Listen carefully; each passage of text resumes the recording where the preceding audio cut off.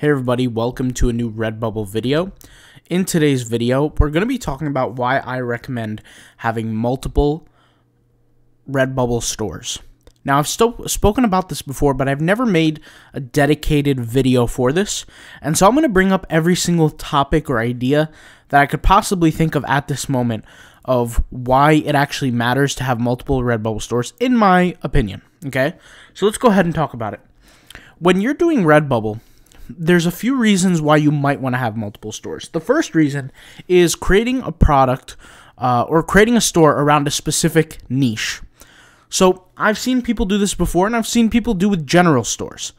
But when you have a store that's all about one niche, what happens is, is a certain percentage of people who are interested in the type of product that you're selling are gonna, you know, who are who are essentially uh, they know what they're doing when it comes to Redbubble. They've been on Redbubble before. They're avid consumers of Redbubble. They're click on. They're gonna click on your store name. They're gonna interact with you. They're gonna send you messages on Bubble Mail. They're gonna see what you're selling. They're interested. And if all of your designs are in the same niche, well, that's going to do two things for you. The first thing is that number one, it's going to increase your average order value. And really, what that means is that in your e commerce store, in your Redbubble store, there's going to be a certain percentage of essentially a certain uh, probability that you have a certain level of sales. So let's say most of the time the probability of your store is one sale. So a consumer is going to come in and they're going to buy just one single product. So in that case, the average order value is the value of that one order, right? It could be a shirt, it could be a sticker, whatever, but it's one order, right? The average number of orders. Well, if you were to increase, let's say, or make it a, a, niche specific store, what could happen is in that case, you're going to increase your average order value. People will go to your, your back to your store, they'll see things that are related to the design that initially got them interested, and they're going to add other products to their cart. And this happens more often than not, believe it or not. And people who have uh, multiple, um, or excuse me, people who have one product store, niche stores, excuse me, can go ahead and vouch for this in the comments. Um, what I typically tend to see is that consumers are looking for more of what they like. Now, in nature, this is something that seems obvious. But we don't all behave that way. I mean, think about it.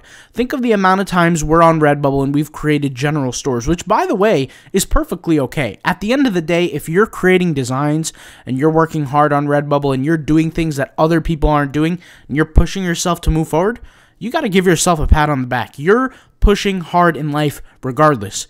But there are certain advantages, like I said, that come with creating a single product, uh, a single niche store. One of those, like I just mentioned, is increasing that average order value, that small split chance to where a consumer comes to you and buys multiple of your products because they realize that you're the dominator in that niche. And it has happened to me before. All right. The next thing is, I'm going to be honest, just more sales in general. Redbubble typically awards people who are going hard in a specific niche. At least this is what I find. Now, not from an algorithmic perspective, but it seems like you just own more dominance in a specific niche. Think about it this way. Imagine uh, I had to pick a name out of a hat, right? And inside that hat, there were 700 names, a 1,000 names. But let's say you owned 500 out of that 1,000, or 500 out of that 700. Doesn't that increase dramatically that every single time I would pull out a paper out of that hat to read whose name it is, but it's your name most of the time, isn't that going to increase your chances? Well, I look at it the same way for Redbubble. If somebody creates a search on Redbubble where they search for, let's say, tiger, right, as an animal, and let's say out of the top designs, you're the one who has the majority, and it doesn't have to be the word tiger, it could be anything. Tigers with flowers, right? It could be anything where you stand out. Like, for example, here, tigers with flowers, cute 1048 results. If you what if you had out of those 1048, you added 1700 designs. You worked for a whole entire month on that one store, you created 1700 designs, you stuck by it and you waited for the results. Wouldn't that give you such a much higher chance to actually get sales? Now, of course, there's a variable of design quality. There's, of course, uh, the variable of tagging and all that. But out of a hat, like I said, if we're picking randomly out of a hat, in terms of probability, well, probability favors you, right? And we all know probability random sampling. I mean, there's really no favoring unless you're the dominant owner or you're essentially dominating the niche just by sheer numbers. So, something that I would say to that, another huge benefit is ownership. Ownership over a specific niche, domination over a niche. And I've spoken about this before, but um, when I create my 60 designs per day, 1800 designs roughly a month, right? Just depends on the month. This month it's going to be less than 1800. Leap year, 28 uh, days in the February month. Uh, but you know, last month we had more than 30 days. We had 31 days. So the point is, is that when we create those specific designs, at first I'm testing things, yes. But the more I stick in that niche, the more I'm dominating towards a specific niche. Now, the the different stores that you'd build some might be general. That doesn't mean that you should go back and delete your work and delete everything you've done or undo things that you've done. Don't do that. Just move into the future knowing okay this is a store that i have let's say 800 designs on. All right this is a great store. It's making me money. It's a general store. Let me go ahead and try something different where now i focus on just one niche for this specific store. And guess what guys I know it can be hard sometimes to focus on a specific niche. So what you could do is you could create multiple stores and just you know flip through each one every other day. Like for example, two days you work on one, store number one, another two days you work on store number three, another two days you work on store number four. Really, it doesn't matter as long as you're uploading as much as you possibly can, right? I'm not going to advise 60 designs for everybody, even though I have before. I realize that a lot of people can um, try their best to get to 60 designs, and other people might struggle a little bit, and that's perfectly fine. If you do struggle to create your 60 designs per day, I highly recommend you check out the Autopilot Passive Income POD Design course. I've shown how I created 63 designs in 34 minutes, no need for niche research because it all takes care of itself. Like I said, everything's right in the course for you guys to go ahead and check out. It's all there, um, and we actually show how to optimize for other products along with that. So if that's something you're interested in, I'll leave the link in the description to this specific course. But once again, when you're creating your designs every single day on Redbubble, and you know you're you're doing you know the hard work behind it there is a way that you can multiply your income. And when you just focus on one specific niche, you're also improving your design quality, which is really the third aspect. Because it's almost like you're becoming an expert in it. Imagine if you created 60 designs a day in the tiger niche, right? For a whole month. By the end of that month, you're going to know right off the bat what consumers want to buy, what consumers are looking for, what makes a better design over another, what's more likely for you to win in terms of tagging. You're going to learn all of that by nature. You're investing your time, you're investing your effort, therefore quality goes up. So just to revamp here, uh, or, or kind of you know summarize, we talked about design quality, design tagging, design titling. All that's going to improve. So overall quality of your work is going to improve in that 30 day period where you're focusing on one specific store or you're creating a quote unquote niche store, right? You're also increasing your average order value. And thirdly, you're dominating that specific keyword, aka that specific niche. If you've taken the tagging course, we referred to the tagging course before, guys, but if you've taken the tagging course, you know very specifically that every keyword is its own niche entirely. Different results can potentially pop up, and therefore it is its own niche.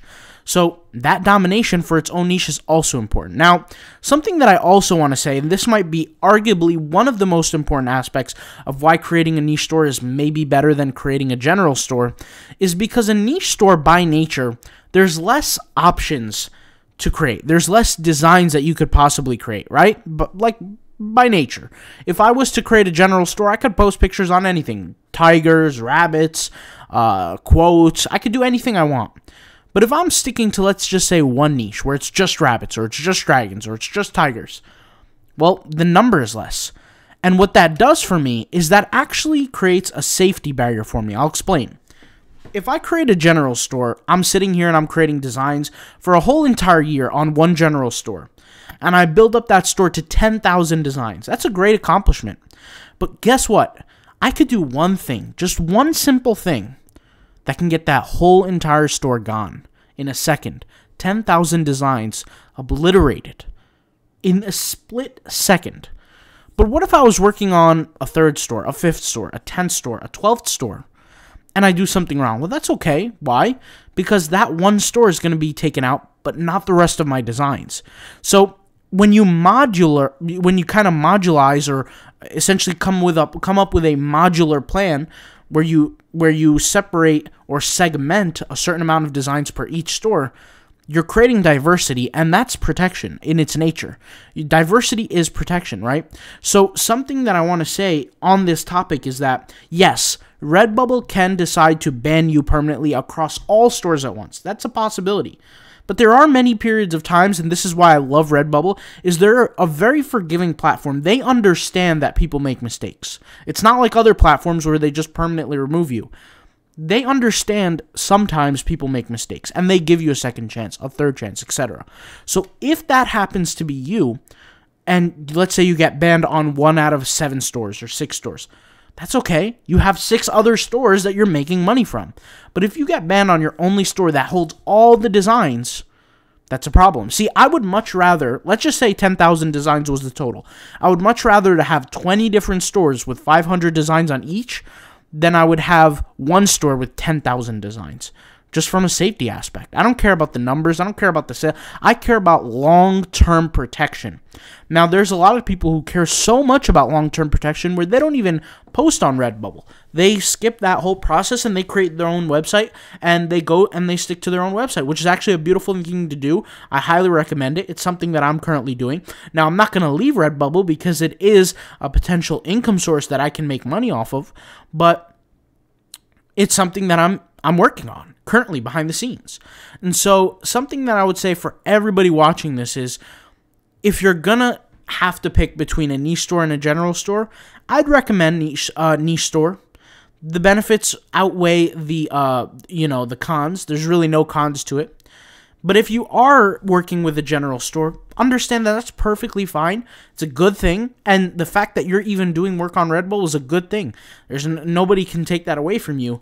Uh, what I would say is just maybe in the future, if you have the time, if you have the you know the desire to do it, try to create a niche store. See what kind of results that you can get into. And the way I look at it is creating a new store is almost like going on a new journey every single time. You're learning new things, you're acquiring new skills, and at the end of the day, can't hurt, right? It can only help. So that's all I got to say for today. I've, I've had this request before where I had to, I wanted to make videos on this, but I got sidetracked and whatever. So at least I put this video up. It's something that I really wanted to do where I talk about niche stores versus, you know, a general store on Redbubble. I completely recommend niche stores. If you do have a general store, there's nothing wrong with that. There's nothing to be ashamed of. It's a great opportunity to make money as well. There's just a little bit, a little bit, a little bit more benefit with a general store. All right. I'll talk to you guys later. Thank you guys for watching and peace out. Bye.